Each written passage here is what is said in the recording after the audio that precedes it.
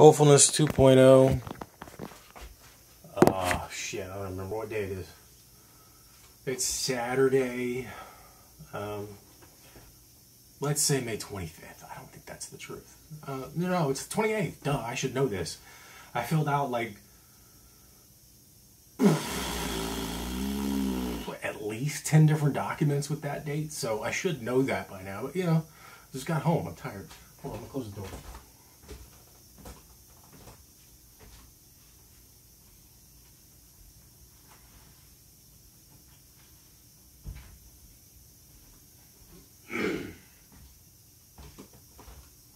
Oh, fuck.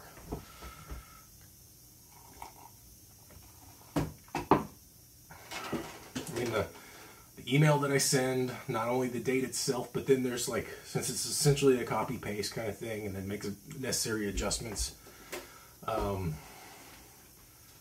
the title of the actual email, you know, the subject.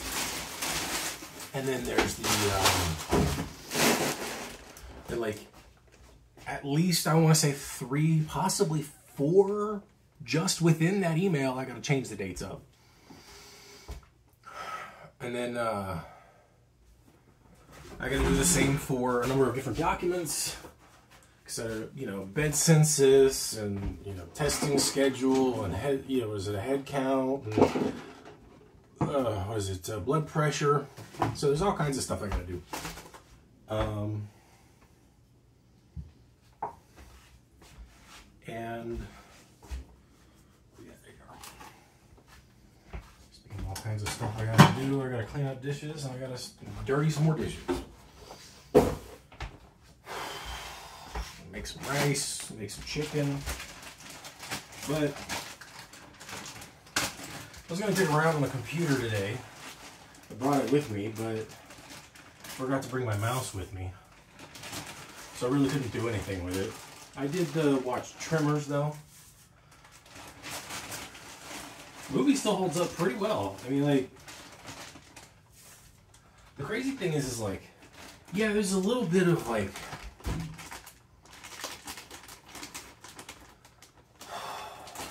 Uh, what's you could say it's either misogyny or sexism with uh, Kevin Bacon's character because you know, like he just wants your your sort of hot blonde, you know, Aryan girl, if you will. Um,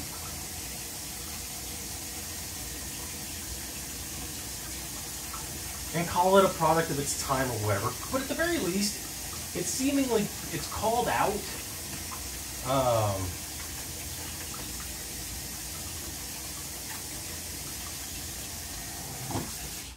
Yeah, admittedly, there's very little representation in the film. There's a bunch of white people, and you know, mostly men, and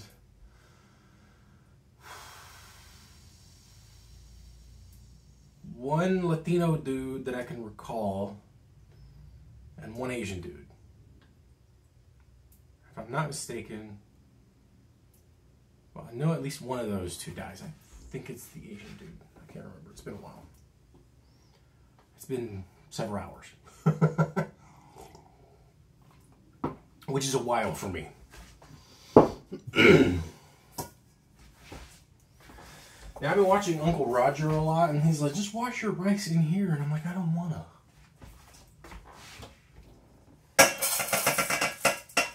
Why are you using a colander? And I'm like, you know what?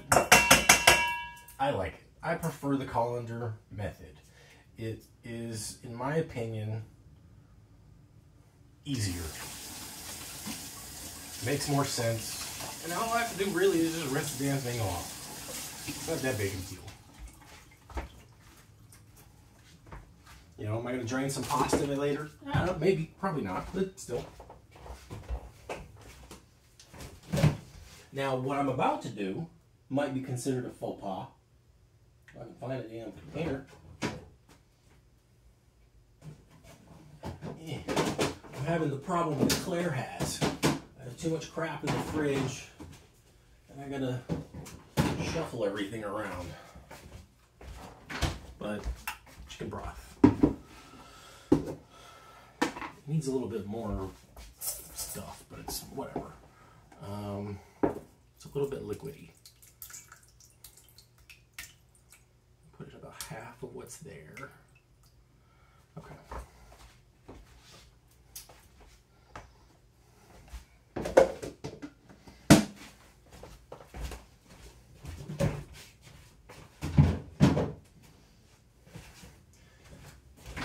Be like, use, you know, when cooking Asian food. But am I really cooking Asian food? And I think that's part of the thing. That's the shtick. It's like, if you're cooking Asian food, I get it.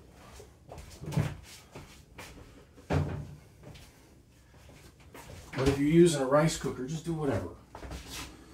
Um, and I don't have chopsticks. I would like to get some chopsticks at some point. I know that they're very effective, especially in things like mixing and whatnot, even for cakes and the like. But a whisk does a great job too. Now, granted, whisks are more of a pain in the ass to clean. I will grant that.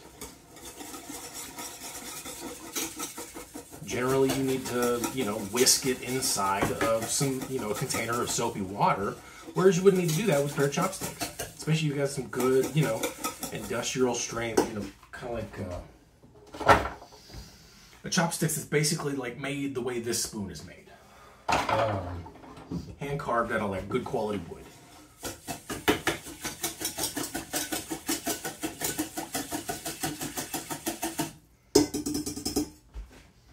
But whatever. We do it must because we can. I don't know. It's not really the, a necessary quote in this situation. Whatever, doesn't matter. Um, so yeah, Tremors holds up pretty well. I, I finished, I had started and then finished um, Goodfellas. I started it like earlier this week. I want to say it was like maybe Sunday night. I'm not sure. Maybe a little earlier than that. I can't recall. But it just, uh. and uh, it's a decent film. Like someone would say, decent. It's fucking Goodfellas. It's Scorsese. It's one of the best films. Just like um, Raging Bull, it's phenomenal cinema. Um, you have great storytelling. You have great characters. The pacing is, like, despite it being a relatively lengthy movie, the pacing is kind of okay at points. It's better after I started watching it again because I watched it for about 40 minutes. Um, the first time that I watched it, and then I stopped because uh, it just wasn't getting into it. And then I watched it, you know, kind of as homage to Ray Liotta since he died. Um, and I was like, why not finish it? Fuck it. And, you know, it's a solid film, of course. It's not something that, like I have no reason to rewatch it. It's not something that I would rewatch. And that's what you know, one of the things that kind of makes me realize like even though I decided to stay in LA and I like breaking down films and stuff and talking about it like that, I'm not that guy when it comes to film. You know, I was listening to uh, Scrubs podcast, the rewatch podcast, earlier on my way back, and um, they were talking about, you know, Zach was talking about how he was at this party and it, you know, like Tim Roth was there and Al Pacino was there and he was at a table with Al Pacino and they were talking about stuff and his his career and all that crap, and. Uh, Tim Roth was talking, you know, because like Al Pacino, if you're if you're in like this itchy ass, so what happens when you're a hairy person and you have to sit on your ass a lot, or you choose to, whatever. But um, apparently, there's like this small little club that he does, and you gotta it's invite only type thing, and he he does uh, 35 millimeter print viewings of films that he's done before in the past, but you know, not a lot of his big stuff, blah, blah, blah. And I'm like, you know, that all sounds really cool. It really does. But at the same time, I'm not finding myself hunting for that.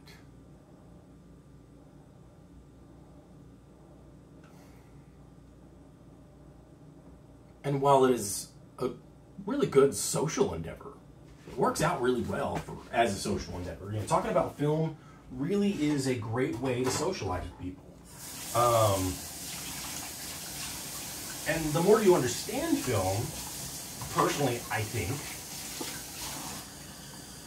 the better it is when it comes to socializing and talking about film. Um, it's one of the reasons why I took film classes in the first place is so that I could understand these things so that when I do have a conversation about a film, I, I, I have an understanding of why I like something versus why I didn't like something. I honestly think everybody should try to do that when possible. Um, the visual arts of all kinds, if, if you even remotely enjoy them, definitely do something to expand your understanding of what is happening. Take film classes, take some acting classes. You, you don't have to do it thinking that you're going to go into the industry or anything, but maybe you might after the fact. You might fall in love with it. I don't know. But like, if you listen to Zach Braff talk about film, he's been doing it since he was a kid. Like, he's always been a, a, a photog. He's always been, you know, a shutterbug in some capacity or another. And, you know, he enjoys a lot of the process, and there's a lot of it that I've tried to do and I can't enjoy. And I, I get it. The more that I listen to him and various other people when it comes to talking about the way they like doing things, you know, listen to Adam Savage talk about how, you know, his life when it comes to um, being in film and associated with film. Like, the man finds a thing in a movie and then obsesses over it for so long, and I'm like, I don't know how that's possible. I'm jealous of the fact that he can do what he does. Now, of course, he's a success story, you know, survivorship bias. But that's also kind of the thing, too. It's like, how many people are out there who are like me, just, you know, kind of maybe thinking about stuff like this? Versus how many people are in it, that feel it, that think it, that breathe it? And in a lot of ways, the advice of if you're not sure that you want to go into, you know, acting or filmmaking or whatever, don't. It seems it seems cruel. It also seems a little bit like pretentious, but if you really think about it, if you really give it some real thought,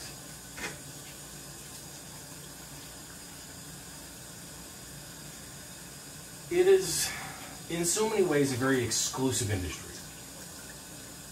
And it's not so much that like just because you don't know somebody doesn't mean anything. It's like any other industry in that, you know, the more people you know that have pull in one way or another, the more likely it is that you'll be able to get what you want and, you know, parts and working on certain endeavors and what have you. But it's exclusive in the sense that a lot of the people, a lot of them, devote so much of their life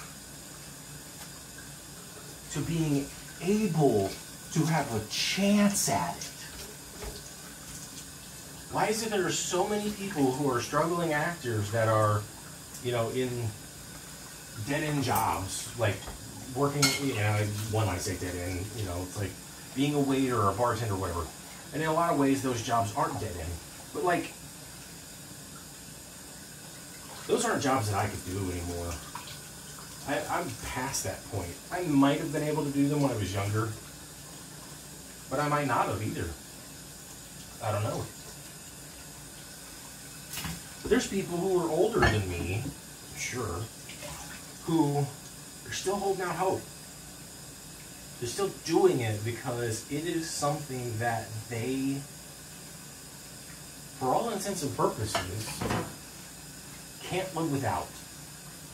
And so they will do whatever it takes to be able to continue to audition, uh, to read plays, to buy plays, etc. Like there, there's like many things, there is, if you will, a spectrum of obsession in the realm of acting or just media in general, media production.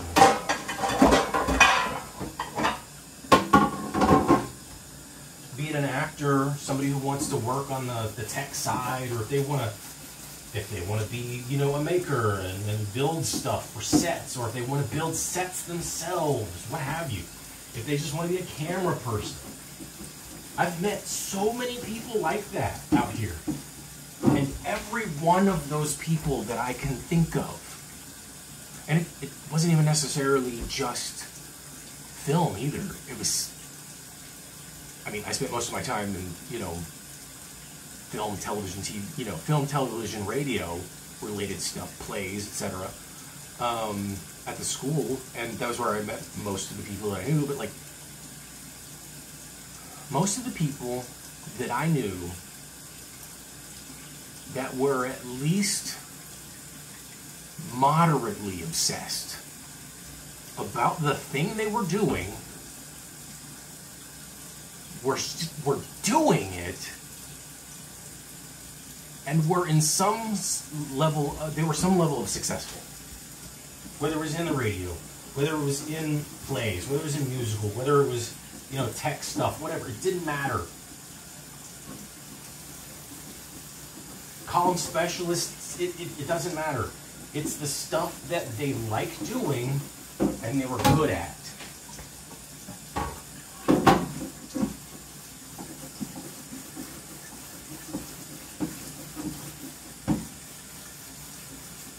And I'm super jealous of that.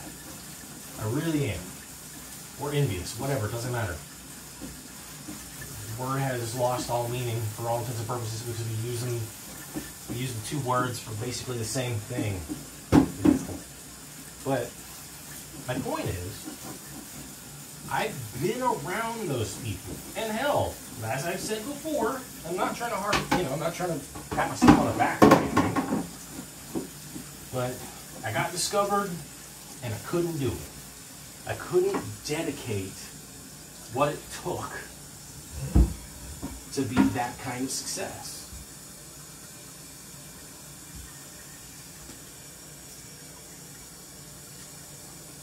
So now, for the time being, if I'm working a few days in a row, like I happen to be right now, um, because I took like last night I wasn't scheduled, but I took over somebody else's uh, slot, overnight slot, and then I'm also got Monday, but I'm also scheduled tomorrow, and I'm also scheduled Sunday, and so I was scheduled Thursday as well. So I have five straight days.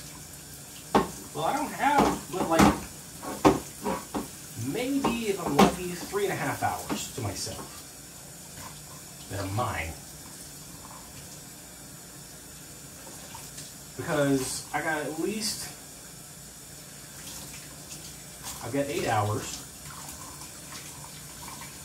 of work. And then before work I got to get ready for work. And so I give myself an hour for that so that I, you know I don't completely screw myself over. And then I give myself approximately two hours for transitioning, i.e. commute. So that's an extra three hours.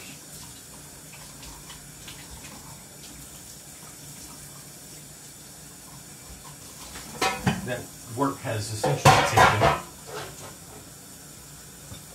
And then there's the other anywhere between an hour and a half to two hours getting back home and so just for the sake of work, I've got an extra five hours for the, sole purpose of commuting. So that's 13 hours in the day. Just for work. And then if I want to actually be able to re- be well rested, which, you know, I do my best to try, sleep eight hours.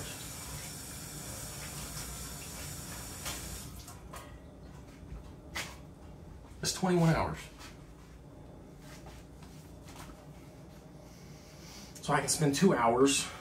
It's just about nine o'clock, so I've got a little bit extra time because the trains and everything just happened to work out work out in my favor today.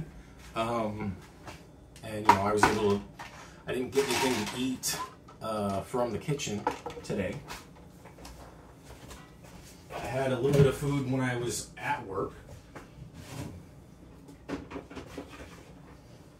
Yeah.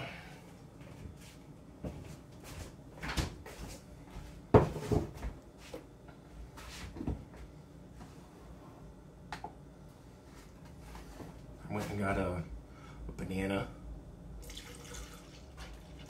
and a bagel, cream cheese and strawberry preserves, some butter.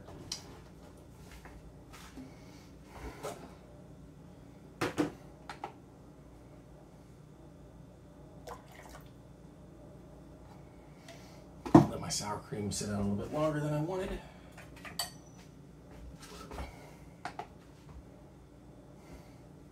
Like it sat out while I was asleep, so you know.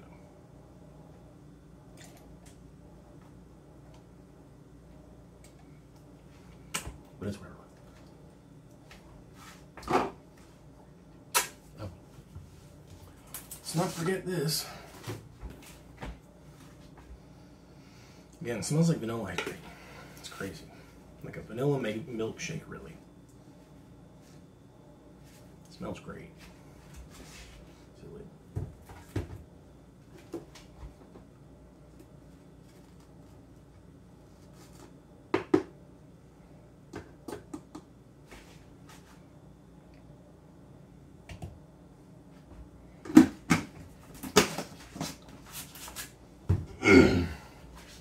And I only uh, I only have these on days that I gotta go to work. That way I have something at work that can help uh, fill me out.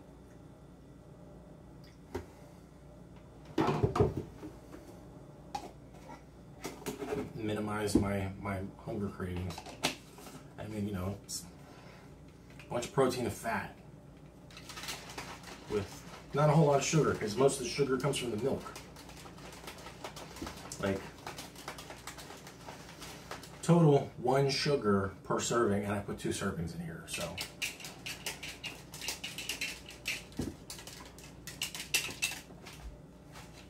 And then I let it sit in the fridge because then it, you know, settles and mixes well.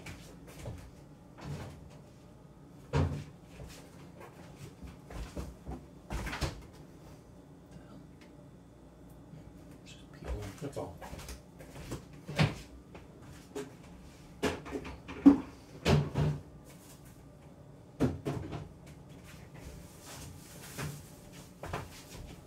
All right. We'll prep some chicken. Put you in here. So I can just. Actually, before I prep chicken,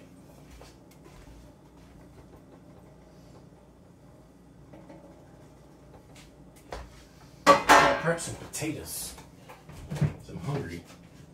And I want some potatoes.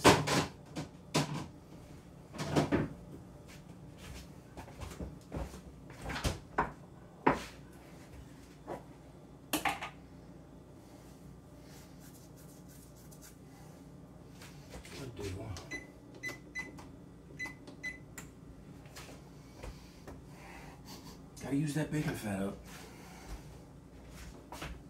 Delicious.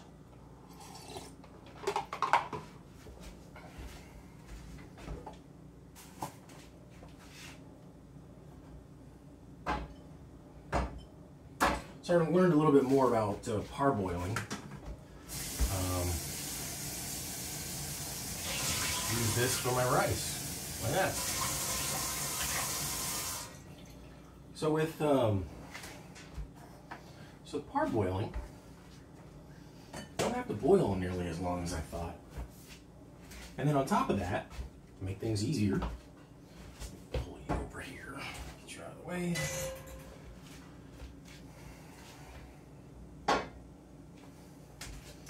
Um, don't have to boil them for nearly as long, but I also have my, uh, I was also baking my potatoes too low. I was only putting them at like 350, 375. And apparently it's better if you just cook them at like 500. So just put them in for, you know, I just put the thing in here and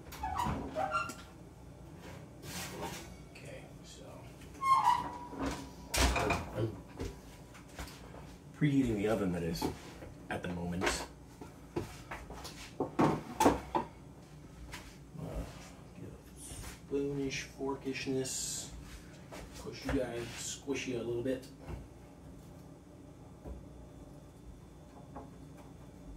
I want them to break a little, squash flatter. Let's get some more surface area on them. And I can flip them later too. A little bit of olive oil, not a whole lot, just enough to kind of cover them. Well, not even cover them, but whatever, you know what I mean.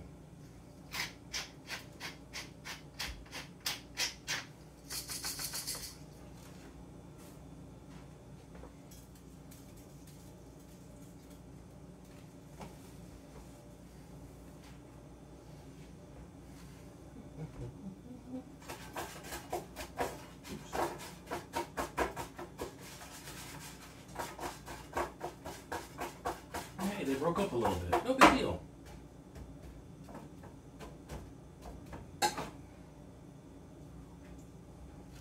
Not to worry, because it's totally acceptable. Alright, let's sit down for now. I get out my knife. Not the big one though.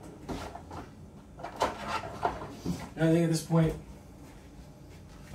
I've said all I'm gonna say. Probably gonna run out of time and battery soon, I don't know, plus it's gonna get hot. So have fun.